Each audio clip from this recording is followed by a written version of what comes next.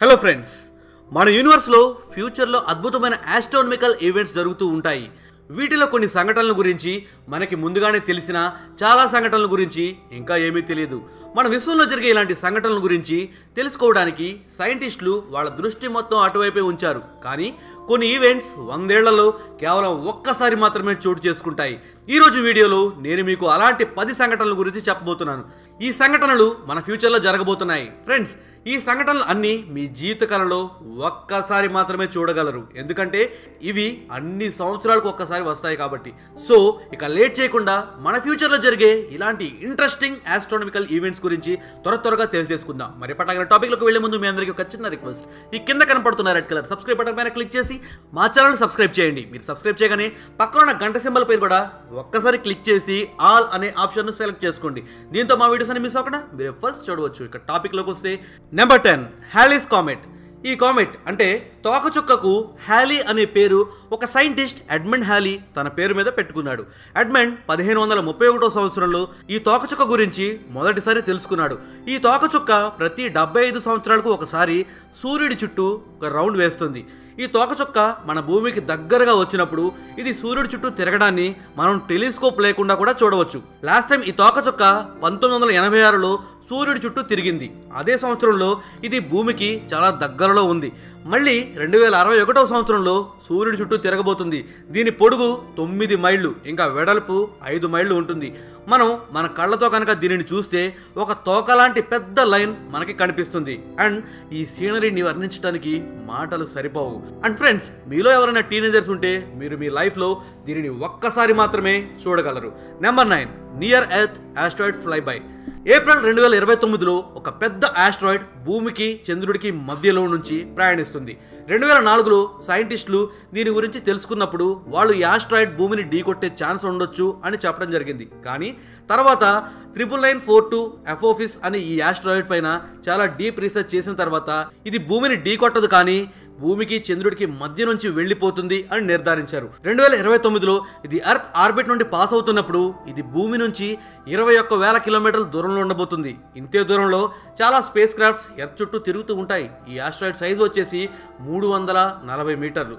Number eight total solar eclipse friends మనకి ప్రతి సంవత్సరం సూర్యగ్రహణం ఎక్కడో ఒక చోట కనిపిస్తూనే ఉంటుంది. కానీ రెండు వేల ఇరవై ఏడులో రాబోయే ఈ సూర్యగ్రహణం అన్నిటికన్నా డిఫరెంట్. అంతేకాకుండా స్పెషల్గా ఉంటుంది. చాలాసార్లు కంప్లీట్గా సూర్యగ్రహణం రెండు నుండి మూడు నిమిషాలు మాత్రమే ఉంటుంది. కానీ రెండు వేల నూట ఎనభై ఆరవ సంవత్సరంలో వచ్చే సూర్యగ్రహణం లాస్ట్ పదివేల సంవత్సరాల్లో వచ్చిన సూర్యగ్రహణాల కన్నా చాలా ఎక్కువసేపు ఉండబోతుంది. రెండు వేల నూట ఎనభై ఆరులో సూర్యగ్రహణం ఏడు నిమిషాల ఇరవై ఎనిమిది సెకండ్లో ఉండబోతుంది. కానీ దీనిని చూడటానికి మనలో ఎవ్వరూ బ్రతికుండరు. కానీ ఆగస్టు రెండు రెండు వేల ఇరవై ఏడులో వచ్చే సూర్యగ్రహణాన్ని మాత్రం మనం చూడగలుగుతాము. ఇది కూడా ఆరు నిమిషాల ఇరవై రెండు సెకండ్లు ఉండబోతుంది. నెంబర్ సెవెన్ సూపర్ నోవా ఏదైనా నక్షత్రం తన లైఫ్లో లాస్ట్ స్టేజ్కి వచ్చేసినప్పుడు దానికదే పతనం అయిపోతుంది. ఆ టైంలో అందులో ఒక పెద్ద బ్లాస్ట్ అవుతుంది. ఈ బ్లాస్ట్ని మొత్తం యూనివర్స్లో అన్నిటికన్నా చాలా డేంజరస్ బ్లాస్ట్గా చెప్పుకుంటారు. దీనినే సూపర్ నోవా అని అంటారు. లాస్ట్ టైం ఫిబ్రవరి పదమూడు పంతొమ్మిది వందల ఎనభై ఏడులో అలా స్టార్ బ్లాస్ట్ అవ్వడాన్ని చూడగలిగాం. దీనికి supernova nineteen eighty seven A అని పేరు పెట్టడం జరిగింది. సైంటిస్టుల అంచనా ప్రకారం ఇలాంటి సూపర్ నోవాని మళ్ళీ మనం నెక్స్ట్ యాభై సంవత్సరాల్లో చూడవచ్చు. దీనిని నైట్ టైం ఏ టెలిస్కోప్ సహాయం లేకుండా చూడవచ్చు. Number six Venus occults Jupiter. Almost రెండు వందల సంవత్సరాల క్రితం అంటే పద్దెనిమిది వందల పద్దెనిమిదిలో లాస్ట్ టైం వీనస్ ఇంకా జూపిటర్ ఒకదానికి ఒకటి ఎదురుపడ్డాయి. మళ్ళీ ఇలాంటి సీన్ ఇరవై రెండు నవంబర్ రెండు వేల అరవై ఐదులో రిపీట్ అవబోతుంది. చాలాసార్లు ఇలాంటి సంఘటనల్ని మనం చూడలేం కానీ ఆ రోజు దీనిని సూర్యుడు అస్తమించే ముందు ఓన్లీ టెలిస్కోప్ సహాయంతో మాత్రమే చూసే అవకాశం కలుగుతుంది. Number five Leonid meteor shower. Asteroid లేదా తోకచుక్కల నుండి విడిపోయి భూమి వాతావరణంలోకి ప్రవేశించగానే కాలి బూడిదైపోయే వాటినే మెటియోస్ అంటారు. ఇవి చాలా చిన్న సైజులో ఉంటాయి. వీటిని షూటింగ్ స్టార్స్ అని కూడా అంటారు. అయితే ఈ రహస్యమైన సంఘటన గురించి మొదటిసారి పద్దెనిమిది వందల ముప్పై మూడులో తెలిసింది. ఈ సంఘటన ప్రతి ముప్పై మూడు సంవత్సరాలకు ఒక్కసారి జరుగుతుంది. ఈ ఘటనలో మనం ఒకేసారి చాలా షూటింగ్ స్టార్స్ రాలి పడిపోవడం చూడవచ్చు. ఇలా ఎన్ని నక్షత్రాలు రాలుతాయంటే అది మనకి ఒక షవర్ లాగా కనిపిస్తుంది. నెక్స్ట్ దీన్ని మనం రెండు వేల ముప్పై ఒకటిలో చూడవచ్చు. Number four. ప్లానటరీ అలైన్మెంట్ మన సోలార్ సిస్టంలో ఉన్న అన్ని గ్రహాలు ఒకే లైన్లో వరుసగా ఉండటం చాలా అరుదైన సంఘటన. ఇలాంటి సంఘటన ఇప్పటి నుంచి నాలుగు వందల డెబ్బై రెండు సంవత్సరాల తర్వాత జరగబోతుంది. ఎనిమిది గ్రహాలు ఒకటే స్ట్రైట్ లైన్లోకి వస్తాయి. సిక్స్త్ మే రెండు వేల నాలుగు వందల తొంభై రెండులో ఇది ఎగ్జాక్ట్గా జరగబోతుంది. కానీ మళ్ళీ ఇది చూడడానికి మనలో ఎవ్వరం ఉండం. కానీ ఫ్రెండ్స్ మీరు బాధపడాల్సిన అవసరం లేదు. ఎనిమిది గ్రహాలు కాకపోతే ఏంటి? అట్లీస్ట్ ఐదు గ్రహాలను ఒకటే వరుసలో రెండు వేల నలభైలో మనం చూడవచ్చు. సెప్టెంబర్ పది రెండు వేల నలభైలో Jupiter Mars Saturn Venus Mercury ఒకటే వరుసలోకి వస్తాయి. Number three transit of earth from Mars.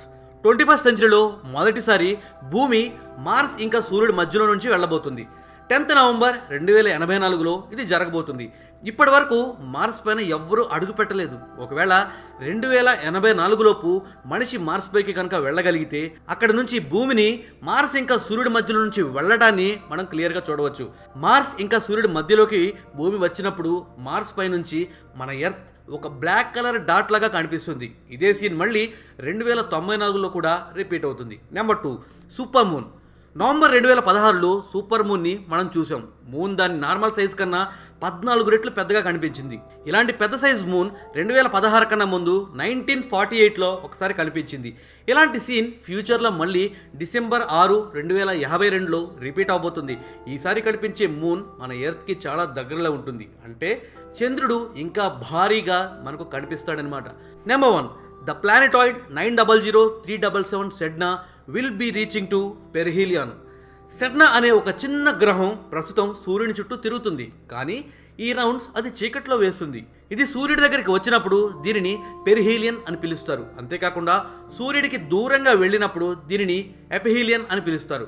ఇది సూర్యుడి చుట్టూ ఒక్క రౌండ్ తిరగడానికి పదకొండు వేల నాలుగు వందల ఆరు సంవత్సరాలు టైం పడుతుంది. రెండు వేల డెబ్బై ఆరులో ఈ పెర్హీలియన్ సూర్యుడి దగ్గరకు రాబోతుంది. ఈ గ్రహం గురించి తెలుసుకోవడానికి అదే మనకి కరెక్ట్ టైం. ఎందుకంటే మనకి ఈ రోజు వరకు ఈ సెడ్నా యొక్క నిర్మాణం మన సూర్యమండలంలో జరిగిందా? లేదా వేరే ప్లానటరీ సిస్టమ్కి సంబంధించిందా? లేక ఇది ఏమైనా మన సోలార్ సిస్టంలోకి వచ్చి చిక్కుకుపోయిందా? ఇలా చాలా క్వశ్చన్స్కి మన దగ్గర సమాధానాలు లేవు. సో ఫ్రెండ్స్ ఫ్యూచర్లో జరగబోయే ఈ అద్భుతమైన ఈవెంట్స్లో మీరు ఏ ఈవెంట్ కోసం ఎదురు చూడబోతున్నారు తప్పక కామెంట్ చేయండి. అలానే వీడియో మీకు నచ్చినట్లయితే ఒక లైక్ కొట్టండి వాట్సాప్లో ఫేస్బుక్లో ఇన్ఫర్మేషన్ మీ ఫ్రెండ్స్ అందరికీ తప్పకుండా షేర్ చేయండి. ఫ్రెండ్స్ మన second channel Telugu real world గురించి నేను మీకు ఆల్రెడీ చెప్పాను. దాంట్లో ఈ రోజు నుండి రెగ్యులర్గా వీడియోస్ వస్తాయి. ఈరోజు దాంట్లో పెద్ద పెద్ద డ్యామ్స్ విషయంలో తేడా వస్తే ఏం జరుగుతుందో వీడియో చేశాను. అంటే డ్యామ్స్ కట్టేటప్పుడు ఇంజనీర్లు చేసే పొరపాట్ల వల్ల అవి బద్దలైతే ఎలాంటి పరిస్థితులు ఎదురవుతాయి? హిస్టరీలో వేరు వేరు దేశాల్లో చేసిన ఎలాంటి తప్పుల వల్ల ఎటువంటి దారుణమైన పరిణామాలు ఎదురయ్యాయి అని చెప్పాను. ఫ్రెండ్స్ ఆ వీడియో కూడా చూడండి. నచ్చితే ప్లీజ్ లైక్ చేయండి. అలాగే ఛానల్ని ఇంప్రూవ్ చేసుకోవడానికి ఏం చేస్తే బాగుంటుందో కింద కామెంట్స్లో తప్పకుండా తెలియజేయండి. మేము ఖచ్చితంగా మీ సజెషన్స్ని ఫాలో అవుతాం. ఆ వీడియో యొక్క లింక్ని కింద ఫస్ట్ కామెంట్గా పిన్ చేశాను. ఇంట్రెస్ట్ ఉన్న వాళ్ళు తప్పకుండా ఆ లింక్పై క్లిక్ చేసి వీడియోని చూడండి. దాదాపు నాలుగు సంవత్సరాలుగా తెలుగు రియల్ ఫ్యాక్ట్స్ ఛానల్ని ఆదరించినట్టుగానే మన కొత్త ఛానల్ తెలుగు రియల్ వరల్డ్ని కూడా సపోర్ట్ చేస్తారని ఆశిస్తూ ఈ రోజుకి సెలవు తీసుకుంటున్నాను. జై హింద్.